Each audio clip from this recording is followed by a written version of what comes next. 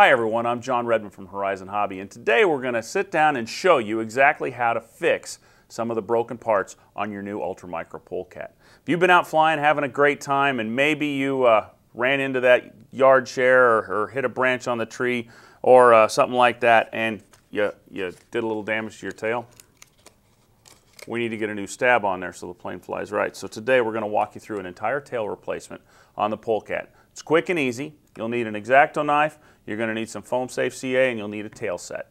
With those items, we'll be able to make this come to life and be a brand new airplane when we're all done. So let's go ahead and get started. First thing I'm going to do is I'm actually going to remove the landing gear. Just makes it a little easier to sit down and hold and work the airplane. Now, pull our X-Acto knife, and we're going to go ahead and top half the fuselage, cutting the tape.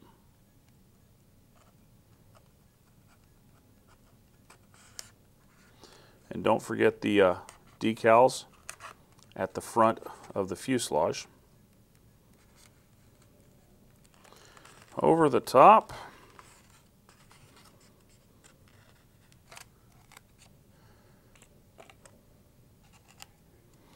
And we've top halved the fuselage. Now we're going to need to remove the back half of the fuselage. Following the break between the red and the white, we're going to slice ever so gently.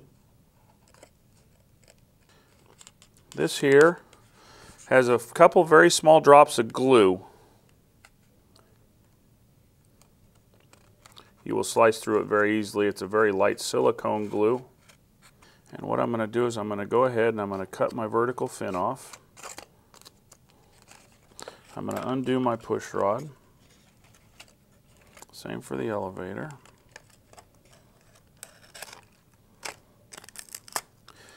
Kind of cut the stab away.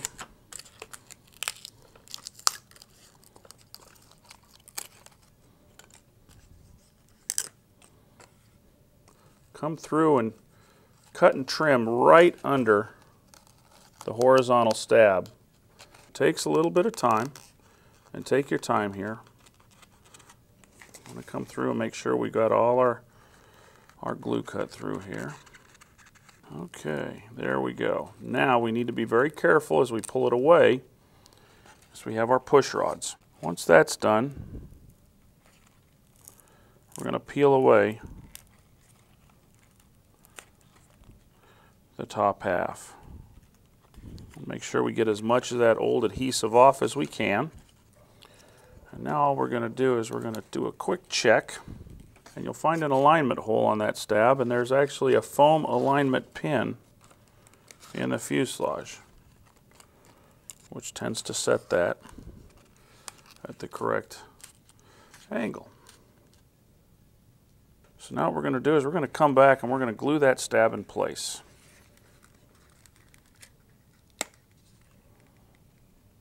Before we do that, we're going to need to install a control horn. There's actually a little piece of tape here that holds a wire joiner in place. We'll need to slice through that.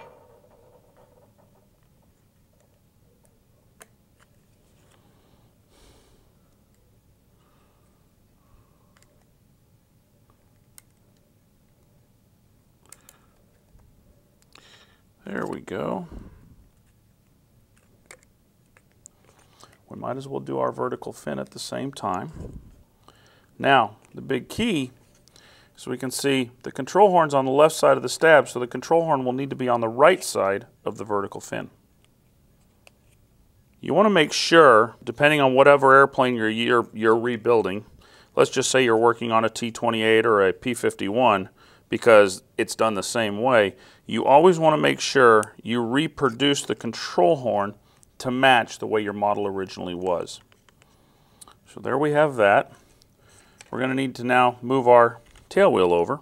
You're going to find that uh, we need to make sure we remove and clean off all the old tape. All right, so now we're going to go ahead and we are going to uh, position our tail wheel on here. And I'm actually going to put a very faint drop of glue around the area where the wire sits. I'm going to back that up with a small piece of tape.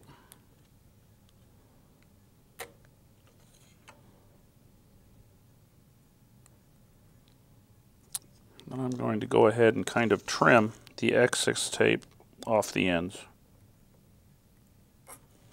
We are now ready to glue the stab in place. A couple small little drops of foam safe CA. I'm also going to follow that up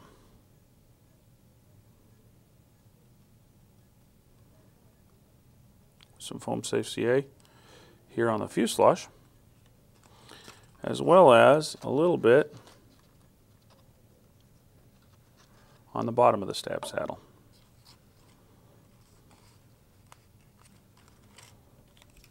Now we go ahead and index that stab into that pin and hole assembly. And you should find that the fuselage side should line up with each other, not be poking out or in. They should pretty much be flush all the way down each side. Also, the stab is keyed at the front. We want to adjust it to where the recess for the elevator actually just comes right up into the notch. And that's saying our stab is straight, matching the fuselage profile there. Just kind of sighting down here, making sure the stab is parallel to the wing, which it is. Once I'm happy with all that, might missed a kicker. And we're going to hold this for a couple minutes and let it dry. Our glue's all dry. We're going to go ahead and we are going to hook that control arm up to the push rod.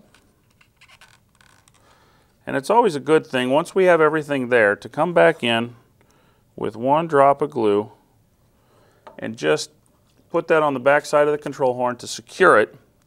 And we will do that to the vertical fin and rudder once it's on. All right, now we need to remove the rest of the vertical. I'm going to cut down here and I'm going to cut right along the base.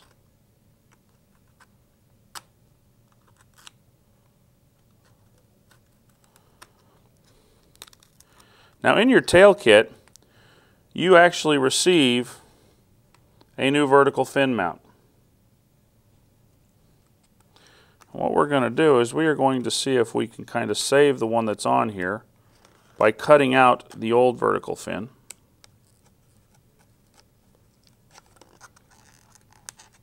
And understand the vertical notches into the fuselage here. So we're cutting down in there and to get all that old foam out of there. Takes a little bit of time. Now, at the trailing edge at the bottom, we have a little hinge slot we need to cut in here. Probably are still going to have the old hinge in here from the first one. That's okay. Just make a slit. May not be a bad idea to kind of spread the tabs up here a little bit. Okay, looks like we've got everything cleaned out. We're going to do a dry fit here and just make sure everything's fitting the way it should. The vertical fin is going down into the fuselage. The hinge is in place. All the paint lines match up. We take a quick look and we got a straight vertical fin. So with that, what we're going to do is we're going to remove it, put a drop of glue on our hinge hole, a drop of glue uh, in our little plastic uh, holder, and then a little bit of glue up here in the front for the tab and put the vertical fin on. Okay, put a little drop of glue in our little holder, some glue down inside there, and one small smudge of it down here.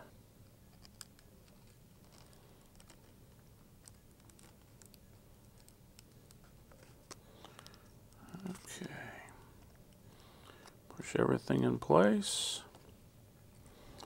Want to make sure our vertical fin is straight. It is. Now, you may want to pinch the fuselage back here where the hinge is together a little while that dries to ensure we uh, definitely uh, get that hinge securely glued in place. Okay, the glue's dried. What we're going to do is we're going to hook our uh, push rod up here on the rudder. Kind of flex that control horn and stick that in there. And it's one down, one in from the uh, outboard.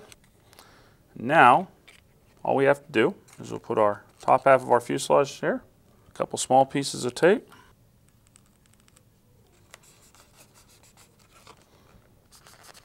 We've got all four sides. We'll put one over the top of the turtle deck.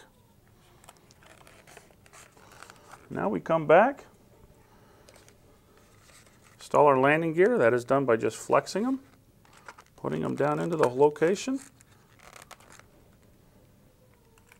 And there you go. Our polecat's ready to go. All right, we've gone ahead. We've replaced the whole tail on your polecat. It's back and ready to go. You're ready to go out and enjoy the world of uh, polecat or pylon racing flying with your Ultra Micro. We hope you've enjoyed this tutorial on how to change the tail on your polecat. And uh, we look forward to seeing you in many more um, of our videos showing you a few things. Remember, if you have any questions, you can find me at editors at horizonrc.com. We'll see you at the flying field.